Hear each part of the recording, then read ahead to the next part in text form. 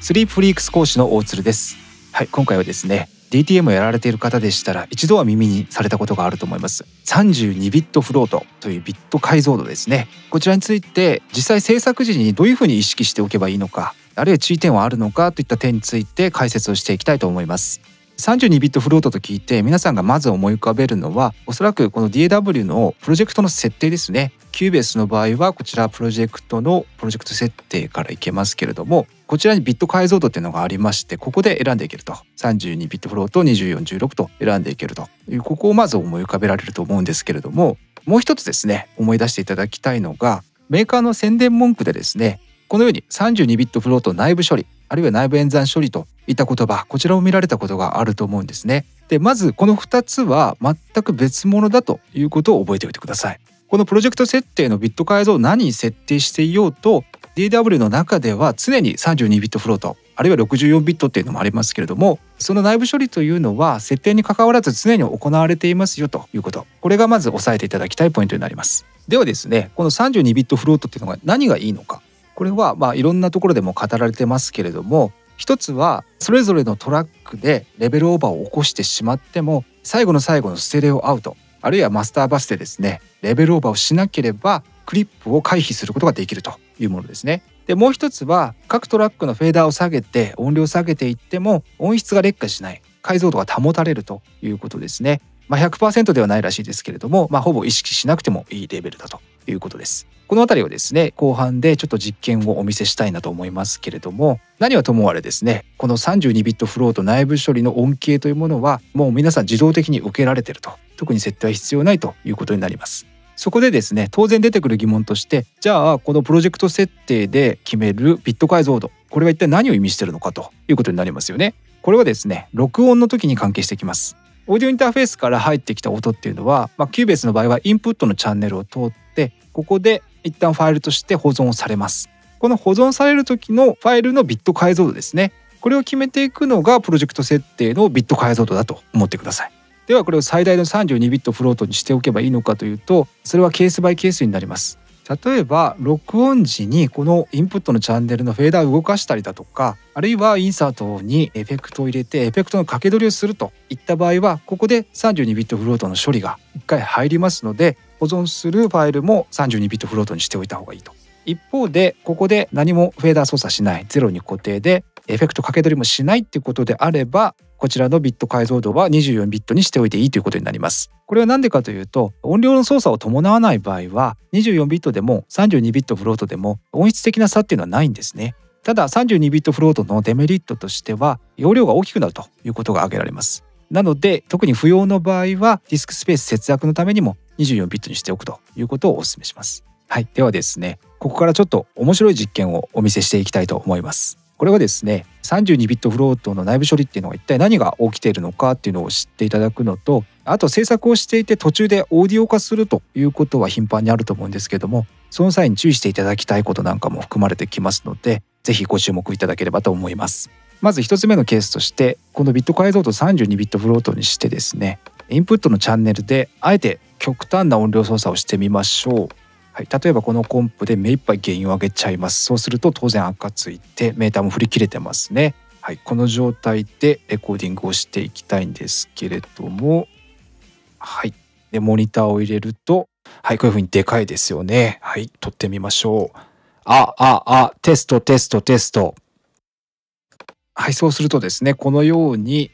完全に波形が天井に当たっている状態でいわゆるクリップを起こしているように見えるんですけれどもこの原因を下げていくとですねはいあら不思議という感じで実は僕が喋った時のダイナミクスっていうのはきちんと保存されているんですね。こういうことが各トラックの間で内部的に起きてるんだっていうことを頭に入れておいていただければと思います。つまりですね各トラックのクリップインジケーターが多少ついても最後の最後のステレオアウトでクリップしなければ基本的には大丈夫ということになります。これはプラグインについても言えるんですけれどもものによってはですね32ビットフロートの精度を持ってないものもあったりしますしあるいはレベルオーバーによってあえてディストーションやサチュレーション効果をもたらすというものもありますからその辺はよく確認をしていただきたいと思います。一方でこれは絶対に避けなければいけないのがこのオーディオインターフェースの内部でクリップをさせることですね。これ絶対救済できませんのでよくやりがちなのがですね例えばこの辺は入れないとしてこの音量下がってる場合ですね音量下げた状態でオーディオインターフェースの原因を上げてみますね。はい音大きくなりましたけれどもはいこちらで音量下げちゃうとクリップしてないように見えるんですね。ただオーディオインターフェースのメーターを見るとここもう思いっきりクリップをしてます。この状態で撮ってもですねはいやってみましょうか。あああテストテストテスト。はい波形は小さいですけれども形よく見ていただくとはい。これナイフで切ったようにですねこう直角になってますよね。これは小さくてもクリップであることには変わりありませんからこれだけは絶対に避けるようにしてください。このミキサーのメーターだけではなくてですねオーディオインターフェースのメーターもよく見ていただくということが大事になってくるかと思います。はい、もう一つケースをご紹介しておきたいのがオーディオで書き出す場合ですね、まあ、制作の途中でソフト申請をオーディオ化したりあるいはステムとしてバストラックを書き出してもう一度プロジェクトに読み込むといったことがよくあると思うんですけれどもその際の書き出しの設定はですねこれはもう32ビットフロート確定でこれにしておいてください。なぜかというと、まあ、ミックスをする際は通常、まあ、まず間違いなくですねインサートエフェクトをかけたりだとかあるいはフェーダーを動かしたりといったことで音量の操作が入ってると思います。その際にクリップを回避したりあるいは音質の劣化を防ぐという意味で32ビットフロートにしておく必要があるということですね。例えばですねこのトラックちょっと音確認しておきましょうか。こういうギターのトラックですけれどもこれを極端に音をちっちゃくしてですね16ビットで書き出すということをやってみましょう。こちらですね16ビットにしてこのトラックのみを書き出してプロジェクトに読み込むということをやってみます。はいこれできてきましたけどもまあほとんど見えない状態ですね。なのでこれをもう一度ノーマライズをかけていきます。はい、そうすると、はい、見た目にもちょっとこう粗い感じがわかるかと思いますけれども音を聞いてみると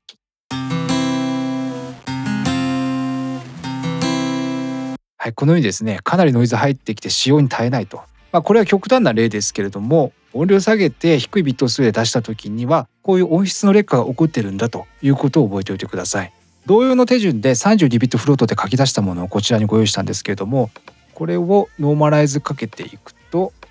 はい音聞いてみましょうか。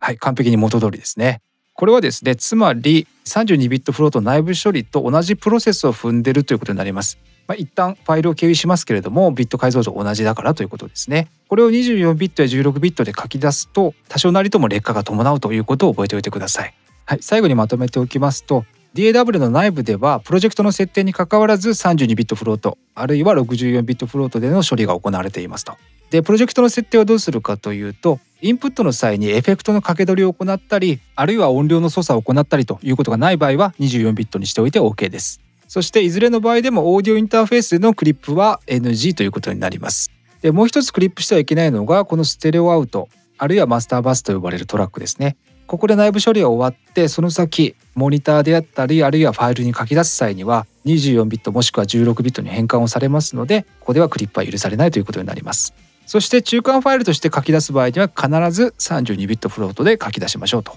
いうことですね。ちなみにフリーズトラックの際に裏で書き出されるファイルは32ビットフロートになってますのでご安心いただければと思います。はい以上ですね。32ビットフロートについて制作時に意識をしていただきたい点あるいは注意していただきたい点について解説をしてまいりました。ご視聴ありがとうございました。ご視聴誠にありがとうございました。この動画が参考になりましたらグッドボタン高評価をお願いいたします。今後も動画を更新し続けてまいりますのでもしよろしければチャンネル登録をよろしくお願いいたします。ウェブサイトや Facebook、Twitter なども更新しておりますのでぜひチェックしてみてください。その他動画の再生リストなども用意しておりますのでパソコンの方はもっと見るをクリックスマートフォン、タブレットの方は動画のタイトルをタップしていただくとアクセスが可能です。また、スリープリークスに対する応援メッセージやコメントなどをいただければ嬉しいです。今後ともよろしくお願いいたします。